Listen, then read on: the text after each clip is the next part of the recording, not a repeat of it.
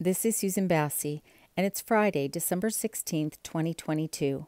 I want to give you a quick update on the disqualification statement that you saw in my last live feed, and that the judge in the case who finally got served will have to answer, strike, consent, or ignore that statement by today at midnight.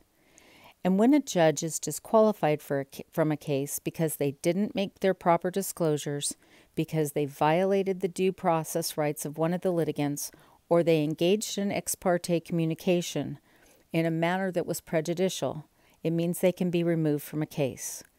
And when they are removed, you can have all of their orders voided out, which means that for all of the years that the public paid that judge to do that work, the orders and the work that they did will all be void, which means they never happened. It's like paying for work that never got done.